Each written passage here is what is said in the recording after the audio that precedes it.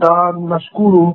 Ni kweli kwa kwa mujibu wa taarifa tulizonazo ni kwamba ni majira tarehe thelathini na moja majira ya saa kumi na moja jioni eh, kuna tukio limetokea na sisi uh, tumeipata jana tunakuja kulipata jana. Kuna mwanafunzi mmoja ametambulika kwa jina la Petronila Pasco. Mwanafunzi huyu anasoma kidato anasoma chuo kikuu cha Iringa mwaka wa pili eh, kwenye fani ya uandishi wa habari yani journalism. Na Sasa mwanafunzi huyu na mwanafunzi mwingine ambaye ambaye ni wa kiume naye anaitwa Prudence Pa- Pa- Patrick Prudence Patrick naye ni mwanafunzi wa Iringa University mwaka wa pili kwenye fani hiyo ya uandishi wa habari. Watu wao pamoja kwamba walikuwa ni wanafunzi, lakini walikuwa wana mahusiano ya kimapenzi. Kwa hiyo inasemekana kwamba huyu walikuwa na, na ugomvi Eh, pamoja na kwamba walikuwa ni mahusiano, lakini walikuwa na ugomvi.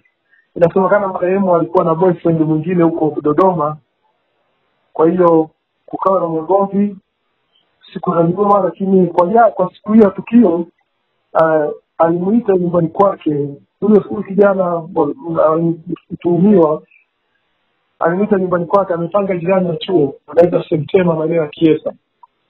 Kwa hiyo baada ya kumwita kuwavaa nyumbani kwake, nafikiri ndo ndipo ugomvi ulipokuwa umetokea ndani kwa ndani, na hatimaye kumnyonga, hatimaye kumnyonga na na akaanza kuchukua simu yake akaanza kuchati na kutoa taarifa kwa wazazi kwamba natesonia naye hapa lakini amefariki. Kwa hiyo wazazi waliopata taarifa hizo basi wakaja polisi kutuletea taarifa, na sisi baada ya kweli kwenda kufuatilia tukakuta kweli ukweli huyu binti amefariki Uh, na kijana huyu akiwa ametoweka katika katika eneo lake.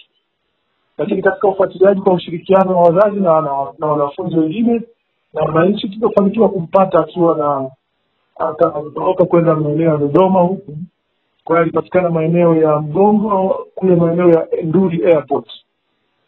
Kwa hiyo mpaka anapozungumza dakika hii kwamba kijana huyu tunaye, tunaendelea na mahojiano ili tuweze kujua nini kilichojiri na hatimaye sheria iweze kuchukua mkondo wake. Kimsingi niseme watu wazingatie sheria, kwa maana ya kwamba wasichukue sheria mkononi.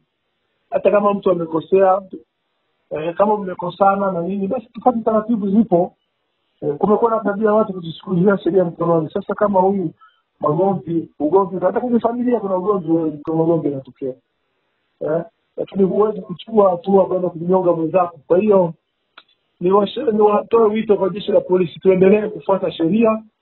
Kama kweli huyu alikuwa ana- ana- ana- ana nini, kuna kuna viongozi wapo au kuna serikali serikali za mitaa, kuna nini angeweza kusuluhisha, basi mambo yakaenda salama. Kwa hiyo wito ni kwamba tusipende kuchukua sheria mikononi, tufuate utaratibu wa kufata sheria.